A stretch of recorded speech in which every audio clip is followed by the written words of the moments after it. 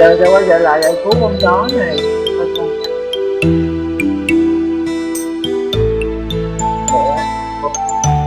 Trời ơi, rớt thanh mặt luôn kìa. Ôi, té Thì hơi quá cái ong nó đẩy mình lên. Hôm này Ôi da, chống mấy con ong lại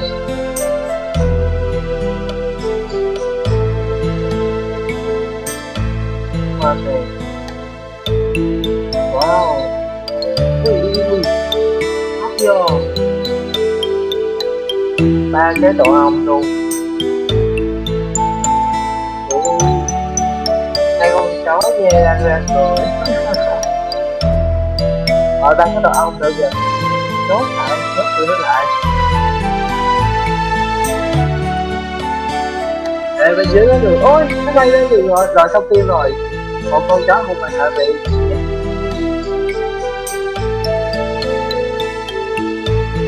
ôi da con ong ở dưới là chết rồi.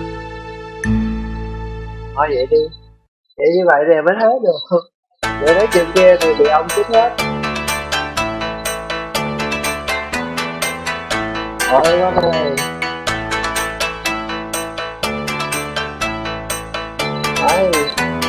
ơi nó xuống kìa Chết chết chết chết lộ Ừ may quá. Ý rồi xong tim rồi. Lại bị chích nữa. Lại bị chích. Đẩy vô đẩy vô.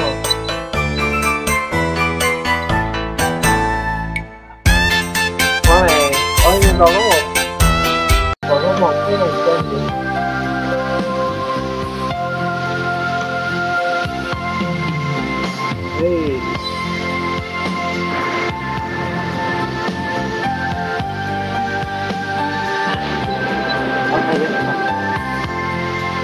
Ờ, ở trên đầu có cái gì vậy, không biết nó rớt trên đầu mình không vậy vậy móc này vô. Ở nó rớt xuống thì bây giờ móc nó vô, nó không rớt rồi đó ủa bình thường hả? Bùm ở phía dưới là axit hỏi qua thời tiết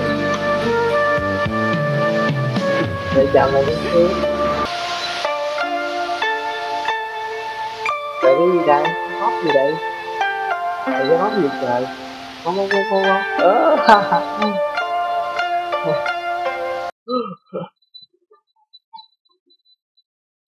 Thôi về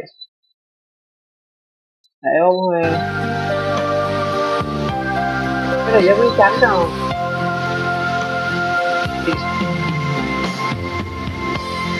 Ê, tôi nghĩ là gà kìa Ôi, bị chết rồi.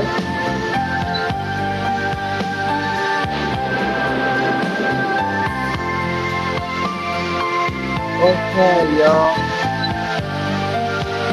Thằng hai con chết tên lè luôn nè. Wow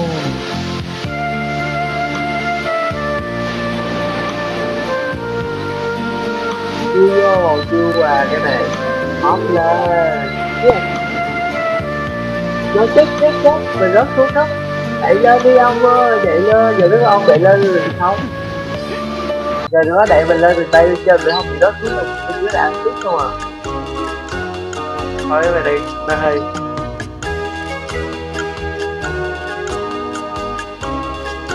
Thôi vậy vậy? Ôi nó lên được luôn kìa. Hai con chó nặng không? Hai con chó nặng lắm không? Yeah yeah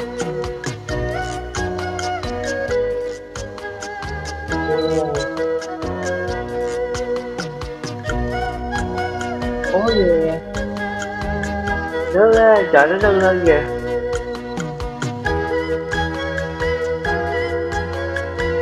thôi được 3 sao hả? Cái này không có sao, cái này tính là bàn chân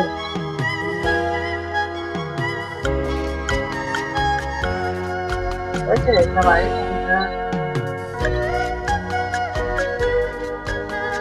Đấy, đốt nó không lại luôn Ê, cười Cái con chó vừa đang ra cười Ê cái này này có một con chó vậy Vậy Tại đi ôi ui da bị chết rồi từ phát sinh rồi khổ đau, khổ uẩn, do có tà ngự, tà nghiệp, tà mạng và các sinh khổ của sinh già. Chết sầu bi khổ yêu nghèo nghĩa là toàn bộ khổ này tập tội. Đây là lộ trình sinh diệt của các danh pháp tâm và sắc pháp của một người chưa học và tu với thánh đế. Gọi là lộ trình nát tà đạo. Chữ tà ở đây được hiểu nhiều nghĩa ở đây được hiểu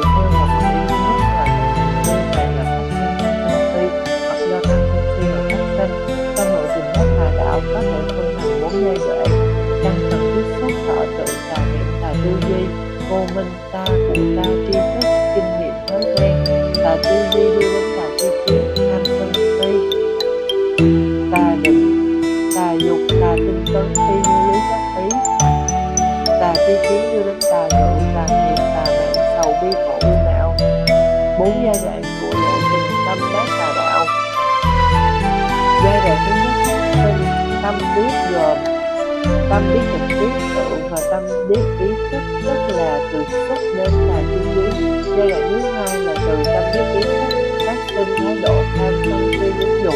Giai đoạn thứ ba, từ thái độ phát sinh phản ứng, tà tính tấn đến tà ngữ tà nghiệp, tà mạng giai đoạn thứ tư là kết quả phát sinh khổ ổn.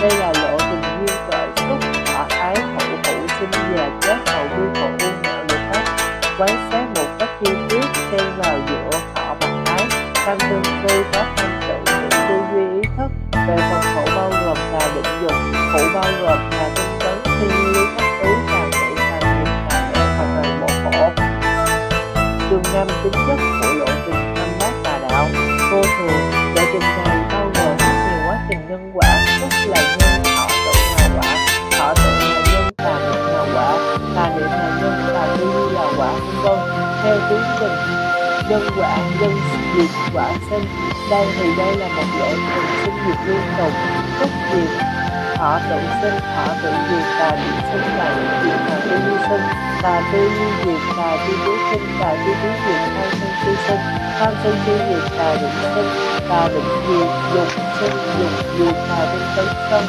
sinh và tinh tấn diệt tư duy lý pháp ý sinh tư duy lý pháp ý diệt và tự tà sinh và ngữ tà nghiệp tà mạng vì sầu bi khổ u não sinh sầu bi khổ u não diệt mà lộ trình tâm đại sinh và lộ trình lý diễn tiến sinh diệt như thế. Không phải các chi chi phần này sinh lên và diệt cùng lúc mà từng chi phần sinh và diệt liên tiếp. Nhau tại một thời điểm, chỉ có duy nhất một danh pháp ví dụ. Tại thời điểm hiện tại, tài tư duy đang có mặt thì những gì ở quá khứ bao gồm xúc thọ tượng, tà niệm đã diệt, và khi diệt nó không đi về đâu. Những gì ở sau tương lai chưa sinh thì không có ở đâu. Và như vậy chỉ có một hành vi tư duy duy nhất, một danh tác duy nhất. Ngoài ra không có bất cứ hành vi gì khác.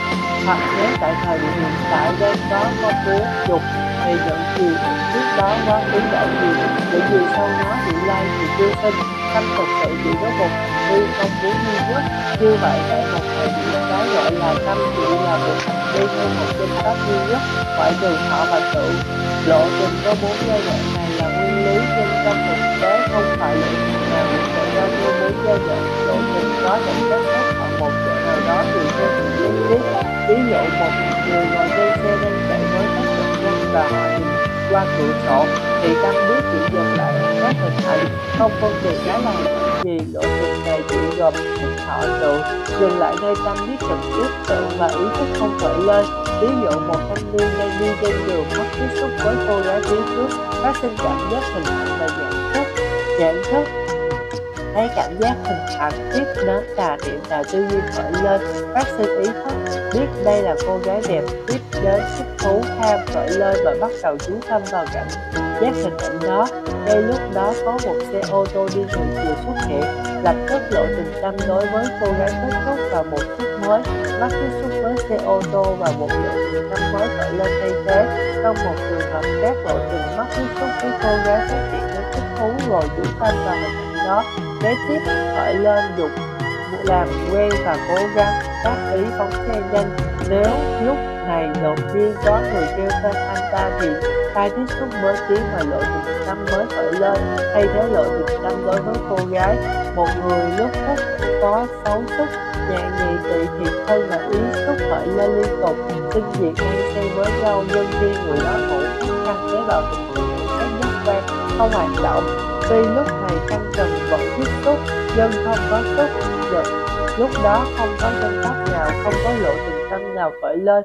Nếu có lộ trình tâm nào khởi lên là phải thọ, có thọ tụ. Thứ nhất là thọ hội tụ, rất có tâm biết ý thức phát sinh. Không có cái biết nào khởi lên thì không có tâm nào hết. Khi một người ngủ say, không một bệnh hoặc khi gây lên để bỏ hay bị say nhận mất đi khi đó không có xúc và không có lộ trình tâm, không có một tâm nào cả. Tâm vô thường là như vậy, xin diệt liên tục theo định luật duyên khởi tại một thời điểm chỉ có một hành vi cùng bản chủ tâm, một danh pháp duy nhất độc lập không phải như một linh hồn với nhiều chức năng không sinh không việc hay một thực thể thường hàng nguyên khối có tác dụng. Cùng một lúc, vô ngã.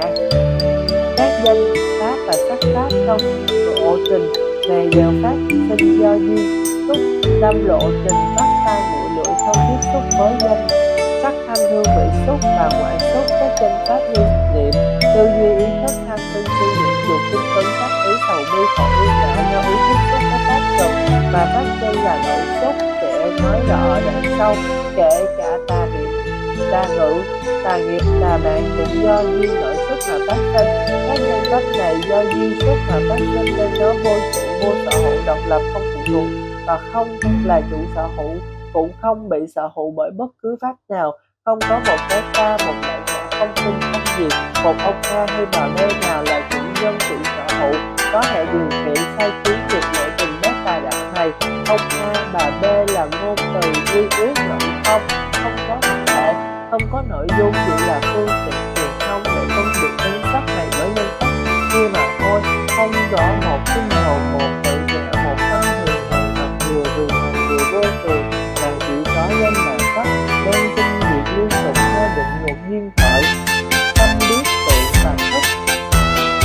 Bao rồi thanh biết giác quen trực tiếp giác quen và thanh biết giác tiếp. Ý thức lộ trình tâm biết khởi lên như sau. Tăng cường tiếp xúc thọ tượng tà niệm tà tư duy tà chi trí mắt sắc trần tốt nhận thức ý thức tai thanh cần tiếp xúc nhị thức có mặt ý thức mũi thanh cần tiếp xúc tỷ thức có mặt ý thức lựa vị trần xúc nhị thức ý thức thân xúc trần xúc thân thức ý thức, ý pháp trần xúc tự thức ý thức. Tâm biết khởi lên theo trần tập tâm biết trực tiếp và tâm biết gián tiếp theo phạm trù, tâm lý học và triết học, tâm biết trực tiếp gọi là nhận thức cảm tính và tâm biết ý thức là nhận thức lý thí tâm biết trực tiếp là tâm biết đi học cách nhận cảm giác, hay các họ trong đó không có tri thức, khái niệm ngôn từ, đối tượng nào, như thế nào là nhận biết như thế đó, không thêm bớt. Tâm biết ý thức hiểu nguyên có hai phần, chủ thể và đối tượng. Chủ thể biết là một cái ta có thể là một linh hồn, một bạn ngã một tâm thường hằng hoặc vừa thường hằng vừa vô thường. Đối tượng được biết là thế giới bên ngoài từng cảnh triết học và tâm lý học cho rằng sự nhận thức là phản ánh thế giới thống kê và ý thức chủ quan của con người. Khi khoa học phát triển ở mức độ thấp thì ý kiến này có vẻ phù hợp với sự thật nhưng khi khoa học phát triển mức độ cao các phương tiện quan sát đo những cả tinh vi hiện tại các khoa học gia nhận thấy những gì quan sát thì không phải là thế giới khách quan và những gì quan sát được không nhận phụ thuộc vào vật không nhận phụ thuộc vào vật quan sát hoặc là phụ thuộc vào người quan sát căn điều này nói lên rằng những gì được biết là các cảm giác họ đang ảnh cả thế giới khách quan và bản thân người quan sát biết không thể vậy là thế giới khách quan và ánh không ý thức của người quan sát đây là tâm biết không vũ trụ hoặc là vô minh, là tà kiến cảm giác cụ thể và thế giới đối trụ trong tâm biết ý thức hiện như này không có thật chỉ là do vô minh dựng tượng ra. Dựng đứng chân lên mà thôi. Có ba bài kinh đề cập đến lỗi tình tâm biết ý thức hiện nguyên này trong trường bộ kinh bài kinh đầu tiên là kinh phạm vọng cũng tương tự như bài kinh năm ba trong Trung Bộ Kinh mà một trăm lẻ hai quyển ba Đức Phật đã khẳng định vì không thể truy xuất, không thể truy thọ như các sa môn và la môn luận bàn về quá khứ tối sơ và tương lai chấp cứ vào quá khứ tối sơ và tương lai đi cứ vào quá khứ tối sơ và tương lai với 62 luận cách về bản giới. Đây chính là sự không thấy như thật không biết như thật của các sa môn mà la môn bị kích thích, bị dao động, bị xuyên tạc, bị tham ái chi phối. Trong bản kinh này, đức phật đã chỉ rõ các sa môn mà la môn ấy không thể tri xuất không thể tri thọ phân biết được sự thật. Ý thức nhị nguyên của nhân loại là tâm biết vô minh nên đi tướng đi trị vào tâm biết ý thức nhị nguyên này. Mà luận bàn về chủ thể, tức là bản ngã và đối tượng, tức là thế giới trên pháp môn căn bản mở đầu trung bộ kinh đức phật viết này, các tỳ kheo ở đây có kẻ tập tu ít nghe, không được thấy các bậc thánh, không tuần thuộc pháp các bậc thánh, không tu tập pháp các bậc thánh, không thấy các bậc chân nhân không thuộc thuộc pháp các bậc chân nhân không tu tập pháp các bậc chân nhân tự tri địa đại là địa đại vì tự tri địa đại là địa đại người ấy nghĩ đến địa đại nghĩ đến tự ngã đến với đến địa đại nghĩ đến tự ngã như là địa đại người ấy nghĩ địa đại là của ta dùng thầy địa đại vì sao vậy ta nói? Người ấy không hiểu như địa đại đây chính là mô tả lỗi từ xúc họ tự tư duy ý thức nghĩ đến địa đại tư duy nghĩ đến tự ngã đối chiếu với địa đại cụ thể là đối tượng nghĩ đến tự ngã như là địa đại là ta người ấy nghĩ địa đại là của ta nội dung của tâm biết ý thức như cũng tương tự như một số kinh kết đã nói, là ngã kiến ngã sở kiến ngã mạn tùy nhiên tức là thấy có ta, thấy có ta, thấy của ta, thấy ta hơn kém hay bằng. Với tâm biết nhị nhiên này thì tham ái sẽ khởi lên, gọi là dục thị kinh mật hoàng, kinh số 18 trung bộ kinh ngài mahaka kana, mahaka chi nhiên dạng rõ lời đức phật đã thuyết như sau thương người dân do con mắt là và các sắc pháp nhận cũng khởi lên do duy xuất cho các cảm thọ những gì có cảm thọ thời có tưởng những gì có tưởng thời có suy tầm những gì có suy tầm thời có hí luận. Có hí luận ấy làm nhân một số hí luận làm thường một người đối với các sắc pháp do con mắt rất quá khứ tu la tự tại đây vẫn là lộ trình sức họ tự tư duy ý thức lý luận vọng tưởng ở đây là nội dung của tâm biết ý thức nguyên hỏi tại sao lộ trình thì đề cập trong kinh không có nghĩa đáp nghĩa là một hành vi rất tiên tế khó thấy khó biết đức phật cũng ít khi giảng rõ. Nhưng có một số đoạn đức phật cũng nhắc đến hành vi hiện hay kinh hành dụ nằm đợi đất trong toàn bộ kinh đại Nikaya ví dụ trong kinh thiên ân bộ kinh chương 4 tư ân căn, thập đề già 42 Bà La Môn Unaba có biết có năm căn khi tôn giả Gotama đối cảnh khác nhau, thành cảnh khác nhau. Chúng không, dung nạp hoàn cảnh đối cảnh của nhau. Thế nào là năm? Dạng căn nhị căn tỷ căn thiệt căn thân căn thư tôn giả Gautama năm trăm này đối cảnh khác nhau hành cảnh khác nhau. Chúng không, dung nạp hoàn cảnh đối cảnh của nhau. Thời cái gì làm chỗ quy? Tựa cho chúng vào cái gì dung là thành cảm đối với cảnh của chúng này bà La Môn có năm căn này đối cảnh khác nhau, hành cảnh khác nhau, chúng không dung là thành cảnh đối cảnh của nhau, thế nào là năm? Dạng căn thân căn này bà La Môn căn căn này đối với đối cảnh khác nhau, hành cảnh khác nhau, chúng không dung là hành cảnh đối cảnh của nhau, ý là chỗ quy tự cho chúng, ý dung là hành cảnh đối cảnh của chúng. Nhưng thưa tôn giả Gotama cái gì là chỗ quy tụ cho ý? Này bà la môn niệm là chỗ quy tụ cho ý. Kho chứa là nơi lưu giữ các thông tin thuộc về tâm hội tâm rồi vô minh ta của ta tri thức chi kinh nghiệm thói quen.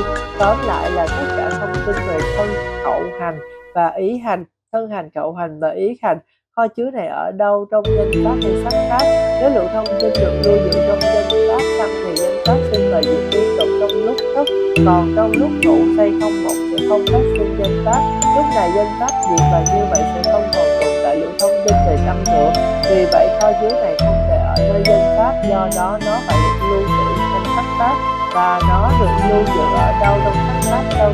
Trong tâm xuất xứ là ngoại xứ riêng còn ý thông trước vì vậy phải xảy ra trong tế bào nội xúc. Vì nếu tiếp xúc với bên ngoài thì nó tiếp xúc với tế bào thần kinh bộ, não bộ khác.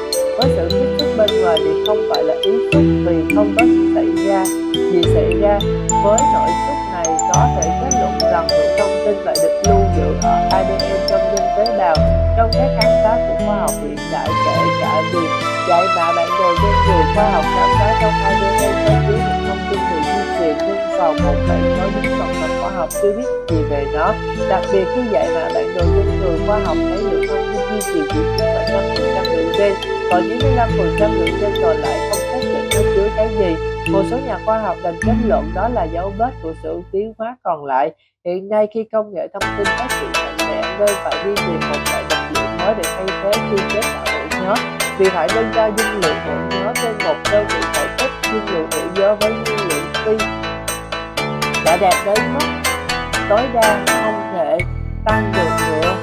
Dần công nghệ thông tin đã phát hiện ra cấu trúc ADN có thể lưu giữ một dung lượng thông tin cực lớn. Hiện nay các nhà khoa học cùng lĩnh vực sinh học đang tìm cách chế tạo những nó tương tự như cấu trúc của ADN như vậy, ở trong tế bào có hai loại thông tin là thông tin di truyền và gọi là pháp trần. Nếu lượng thông tin pháp trần này không có trong ADN sẽ không thể biết đến sự thật phát hiện sự trong bệnh tâm ví dụ khi có tâm tư thì mặt sinh sạch gãy khi bệnh nhanh huyết áp tăng, khi tâm các ý đi thì thân mới đi được. Với điều kiện thân tệ trong trạng thái khỏe mạnh bình thường, khi các ý nói thì cũng tương tự như trên nếu không hiểu được các cơ chế này xảy ra do nguyên nhân là thông tin phát cần chứa các ADE sẽ đưa ra kết dụng tâm là trụ của thân. Tâm